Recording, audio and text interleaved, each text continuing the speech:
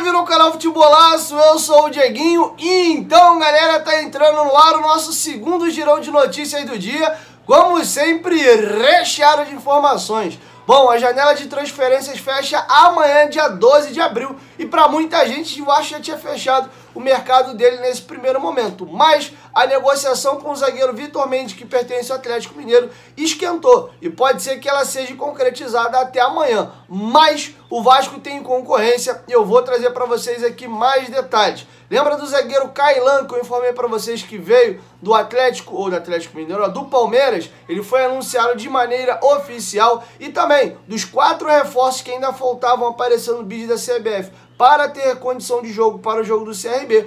Três já tiveram o seu nome publicado lá no bid da CBF. Estão aptos a jogar contra o CRB na, no próximo sábado, beleza? Então tem bastante informação para mim trazer para vocês.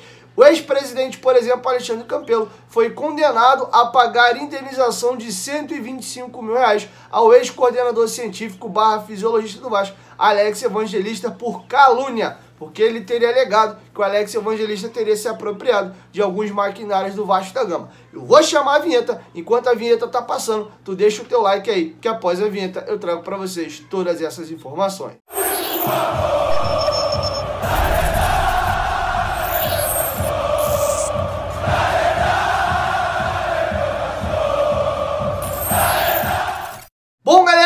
Vinheta já rodou, vou pedir para tu deixar aquele like marotaço que ajuda a gente bastante. E claro, se for tua primeira vez aqui no canal, não esqueça de se inscrever, ativar o sininho das notificações, além também de seguir a gente lá no Instagram, beleza?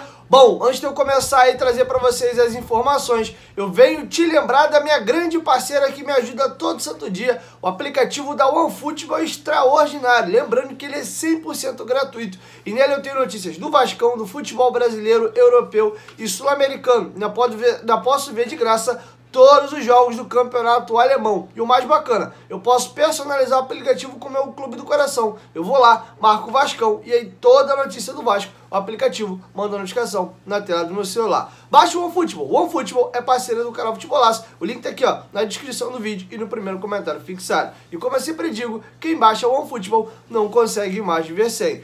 Bom, deixa eu trazer para vocês algumas informações importantes, opa, do que tange aí ao mercadão da bola. A janela de transferências fecha amanhã. Os novos reforços do Vasco têm que estar regularizados até amanhã. Senão, o Vasco só vai poder reinscrever atletas a partir do mês de julho, quando reabre a janela e nós já estamos falando da virada do primeiro para o segundo turno. Até aí todo mundo já sabe. O Vasco acabou de colocar no bid da CBF o lateral direito, Gabriel Dias, está apto a jogar contra o Fortaleza, assim como Carlos Palácios e o atacante Eric, o único jogador dos novos reforços que ainda não apareceu no bid, o que pode acontecer no passado dia ou amanhã, é o atacante Zé Vitor. O restante, todo mundo já regularizado. Beleza? E agora vamos para a última do mercado. Informação que foi dada pelos companheiros da Arena Cruz Maltina confirmada pelo Globoesporte.com e meu companheiro Marcos Jacob, sim, do Detetive Vasco, trouxe um pouquinho mais de informação também. É a respeito do zagueiro Vitor Mendes, lembra dele? Zagueiro de 23 anos de idade, jogou o Campeonato Brasileiro da Série ano passado pelo Juventude, foram 45 partidas na temporada, 3 gols marcados e uma sequência de 34 jogos consecutivos. Jogador é do Atlético Mineiro, foi emprestado ao Juventude, voltou do empréstimo, renovou o contrato até 2024. O Vasco já tinha tentado trazer o zagueiro, mas o Atlético Mineiro estava avaliando, acho que é um jogador que tem mercado. O Atlético Mineiro, se fosse liberar, via com mais, com olhos melhores, digamos, vender o zagueiro, porque é um zagueiro que tem mercado. Enfim, o Vasco, a negociação deu uma esfriada. E agora, na reta final da janela, ele recebeu sondagens do Vasco, do, Atlético, do América Mineiro, desculpa, do Bahia e também do próprio Juventude, que foi o seu clube na temporada passada. E segundo apurou os copeiros do Globoesporte.com, o Atlético Mineiro deixou nas mãos do atleta, o jogador, escolher qual das equipes que o sondaram ele vê com melhores olhos para poder ir. O termo, inclusive, que o GE utilizou foi tentar convencê-lo. O Atlético Mineiro se convenceu de que hoje, como ele é a sexta, sétima opção do elenco do Turco Mohamed, é importante para o jogador ganhar rodagem e aí vai ficar nas mãos dele qual dessas equipes ele acha melhor atuar nesse momento. Lembrando que o Vasco trata a negociação com cautela, segundo apurou o próprio GE, porque a janela fecha amanhã. Então a negociação tem que estar toda concretizada até amanhã. E o companheiro Marcos Jacob, sim, do Detetive Vasco, deu a informação de que ele procurou o agente do jogador. E a informação que ele obteve é que o Vasco não o procurou. O Vasco foi diretamente no Atlético Mineiro. E a informação que o Atenção Vascaíno nos deu também é de que o Vasco tentou a negociação já diretamente com o Rodrigo Caetano. O Vasco tem um relacionamento bom. Ele foi diretor executivo de futebol do Vasco por duas oportunidades, inclusive montando aquele time que o Vasco foi campeão da Série B da temporada 2009, beleza? Então a negociação tá aí caminhando, mas não sabe se vai conseguir se concretizar pelo tempo curto para poder fechar e também por ter concorrência. E aqui eu faço um grande parênteses.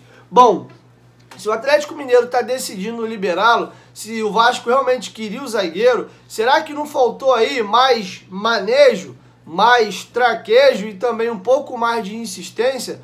Por quê? Se o Atlético liberou agora, ele não poderia ter liberado há dois, três, quatro dias atrás, e agora fica esse desespero em cima da hora, em cima da janela para poder tentar fechar. Enfim, vamos aguardar aí novidades sendo nos próximos capítulos. Se vai realmente fechar ou não, a gente ainda não sabe. Eu vou ficar acompanhando e qualquer nova atualização sobre o zagueiro eu trago para vocês aqui no canal. Beleza? Um zagueiro que tem aí é, um jogador altos. Lembrando que o Vasco hoje tem como dupla de zaga titular Quinteiro e Anderson Conceição. Estão bem estabilizados os dois. O Vasco buscava pelo menos dois zagueiros para poder compor o banco de reserva, já que o Ulisses está machucado, teve uma fratura no tornozelo, fez uma cirurgia e o prazo de retorno era de 3 a 4 meses, já tem um mês, então ele tem mais de 2 a 3 meses fora do time. E o Luiz Cangá pediu para ser liberado, porque ele queria mais espaço, queria ser titular, e aí o Carlos Brasil e o Zé Ricardo falaram: olha, a gente conta com você no elenco, mas te garante a titularidade.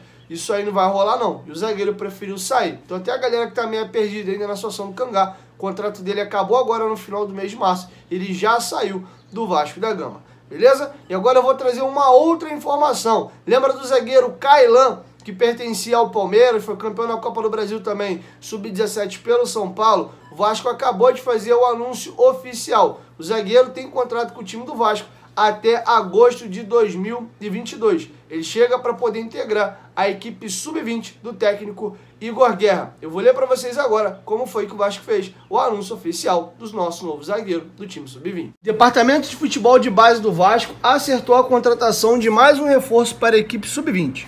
O zagueiro Kailan assinou o contrato nesta segunda-feira em São Januário, com duração até agosto deste ano, e vai ser mais um nome para o elenco do técnico Igor Guerra. Kailan tem passagem pelas categorias de base do Palmeiras e estava no Esporte Clube Próspera, de Santa Catarina. Além dele, o Sub-20 conta com Pedro Lucas, Vitão e Roger para a defesa. Bom, galera, e para finalizar, lembra que teve aquela situação envolvendo o Alex Evangelista e o Alexandre Campelo? O ex-presidente do Vasco chegou a dizer que o Alex Evangelista, que na época era o chefe de coordenação científica do Vasco da Gama no Capres, na gestão Eurico Miranda, de que ele teria se apropriado de maquinários do, do Capres do Vasco da Gama na casa ali de 500 mil reais, além de uns outros dois é, equipamentos. Tem até o nome dos equipamentos lá, são um pouquinho complexos. E aí o Alex Evangelista disse que o, o, que o Campelo estava fazendo era uma calúnia. E o Alex Evangelista processou o ex-presidente do Vasco, Alexandre Campelo. Acabou que nessa semana o martelo foi batido e a juíza deu 15 dias para o Alexandre Campelo. Está pagando 125 mil reais ao ex-fisiologista barra coordenador científico do Vasco, Alex Evangelista, por calúnia. Ele provou através de documentação de que o, alguns equipamentos que ele levou, os que foram citados, era dele e ele não levou nenhum é, maquinário, podemos dizer assim, do Vasco da Gama, beleza? Inclusive o Alex Evangelista, através dos seus stories do Instagram, repostou a matéria do Net Vasco e deixou uma mensagem ali direcionada ao ex-presidente Alexandre Campelo, dizendo que ele é sujeito homem tem palavra e não foi essa a educação que os seus pais lidera. Então, enfim, trazendo a informação para vocês aí. Até que tinha uma galera meio perdida, isso é um caso que já tem bastante tempo. Lembrando que o Campelo assume em 2018 e foi aí que rolou esse atrito. Passados aí, de final de 17 para 18, vamos botar na casa aí de 4 para 5 anos, agora o martelo foi batido e o ex-coordenador científico do Vasco, Alex Evangelista, ganhou essa causa do ex-presidente do Vasco, Alexandre Campelo. Bom, galera, é isso. Essas eram as informações que eu tinha para trazer para vocês nesse vídeo. E logo mais, no finalzinho da noite, aí eu volto com mais informações, beleza? Chegou até aqui, ó, dá essa moral, deixa o like que ajuda a gente bastante. E claro, se for a primeira vez aqui no canal, não esqueça de se inscrever, ativar o sininho das notificações, além também de seguir a gente lá no Instagram, beleza? É isso. Um, dois, três, futebolaço. Tamo junto, família. Qualquer momento de que volta mais, tamo junto. Valeu, fui!